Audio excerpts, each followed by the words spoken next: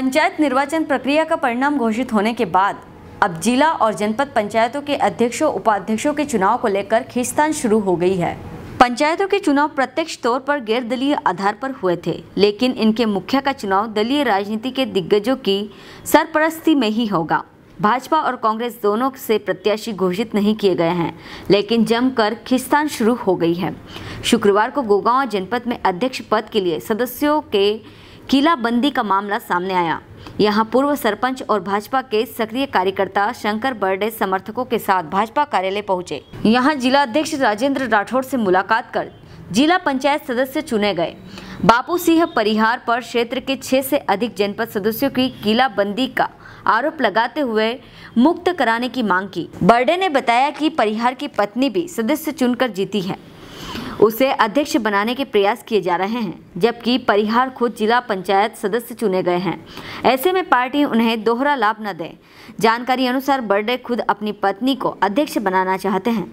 जिला अध्यक्ष राठौर ने बताया कि फ़िलहाल किसी के नाम की घोषणा नहीं की है। भाजपा बड़ा परिवार है, सबको अपनी बात रखने का मौका दिया जाता है। बंधक बनाने जैसी कोई शिकायत किसी भी थाने पर दर्ज नहीं कराई गई है। खरगोन से जयंत गुप्ता की रिपोर्ट।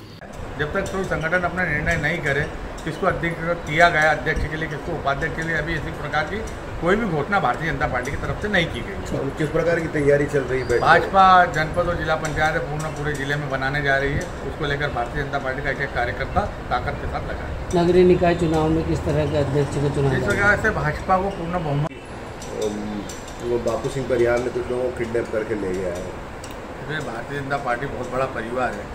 और अभी जिस प्रकार से जनपद और जिला पंचायत के चुनाव हुए हैं, अभी जनपद और जिला पंचायत के अध्यक्ष और उपाध्यक्ष के चुनाव होना बाकी है।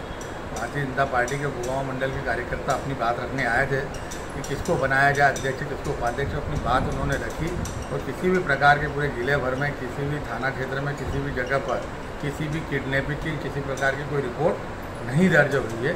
ये किसके द्वारा ये बात की गई मेरी जानकारी में नहीं है। परंतु भाजपा एक बहुत बड़ा परिवार और भारतीय जनता पार्टी के सब कार्यकर्ता अपनी अपनी बात रखने के लिए स्वतंत्र है। वो भारतीय जनता पार्टी कार्यालय पे आए थे, अपनी बात रखी। पंचायत के गुगांव ब्लॉक की पंचायतें में रूपखेड़ा, सोलना स्टेटवा लिमाड़ी घाटा घाट दसनावल, पिपले सिरनूर टेमरनी से सब लोग आए थे। यहाँ पर ये हुआ कि बापू सिंह परिहार जो है, उसको जिला पंचायत में भी लड़ाया गया, अधिकृत करके, और उसकी घरवाली जनपद पंचायत में जीती है। और आज ऐसा सुन रहे हैं कि वो सभी हमारे सदस्यों को इधर उधर लेके गया है और वो जनपद अध्यक्ष उसकी घरवाली को बनाया तो हम इन जिला अध्यक्ष महोदय से ये मांग करना है भारतीय जनता पार्टी जिला कार्यालय पे ये मांग करना है कि भाई भारतीय जनता पार्टी की जो गाइडलाइन है, वो एक व्यक्ति को दो पद नहीं देना ऐसी गाइडलाइन है तो उसका पति जो है जिला पंचायत सदस्य, उसकी घरवाली को अगर भारतीय जनता पार्टी जनपद अध्यक्ष से लड़ा रही है तो पार्टी के गाइडलाइन से बाहर है। हम चाहते हैं कि भाई हमारे इधर से ए, सिंह अमर सिंह जीता है पिपलई से।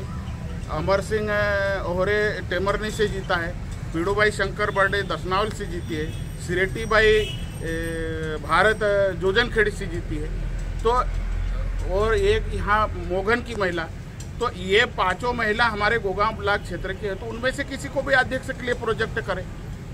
क्योंकि बापू सिंह परिहार को दो, दो पद दिए जा रहे हैं इसका विरोध करने के लिए। प्रकार का विरोध किया? हमने ये कहा कि भाई उस व्यक्ति को जो दो पद है उसका उसको पार्टी अधिकृत न करे। आपने आपने बताया कि सदस्यों को किडनैप कर नहीं लिया। बीजेपी ने नहीं किया बापू सिंह परिहार ने कितने लोगों का कितने लोगों का छह लोग उनके पास वो इधर उधर घुमा रहे हैं। तो क्या किडनैप कर लिया क्या? किडनैप तो किडनैप ही कह सकते हैं अभी तक तो कि जब उनको आने नहीं दे रहे उनके परिवार से नहीं मिलने दे रहे तो अभी तक तो ये तो आपने क्या बोला जिला अध्यक्ष को? जिला अध्यक्ष ने कहा कि अभी वो हमारा उनके ही पास है आसपास कोई किडनैप नहीं किया ऐसा बोला। किन किन लोगों का किडनैप किया उन्होंने? क्या नाम? वो सिरेटी भाई भारत है ये बापू सिंह परिहार लेके गया है। वो कितने लोगों को छह लोगों को बता रहे कोठा कोठा है कुकडोल का है। उसके बाद में उमर खली ये चार पाँच लोग अभी उनके घर परिवार वालों से नहीं मिले। तो कितने जनपद में कितने सदस्य थे कितने बीजेपी का है? बीजेपी के अभी वैसे सात कांग्रेस के हैं और बाकी लगभग सब बीजेपी के कितनी सीट कितनी सीट? उन्नीस से। उन्नीस में से सभी बीजेपी के उन्नीस में से सात कांग्रेस के हैं और बारह। बारह करीब ग्यारह बारह एक दो कांग्रेस के भी शायद उनने उठाए हुए तो अभी क्या फैसला रहेगा? आपका यहाँ जिलाध्यक्ष से क्या है? हमने बात रख दी हमारी। इसके बाद वो पार्टी की गाइडलाइन का पालन करते तो ठीक है। अगर नहीं गाइडलाइन का पालन किया तो? नहीं करे तो उसके लिए विचार करेंगे बाद में। आप लोगों ने किडनैपिंग की बात कर रहे हैं तो आप लोग हेलो फ्रेंड्स आप देख रहे हैं हमारा channel S W twenty four news हमारे सारे वीडियो सबसे पहले देखने के लिए आप हमारे चैनल को सब्सक्राइब करें और पास में लगे बेल आइकन को दबाना बिल्कुल भी ना भूलें।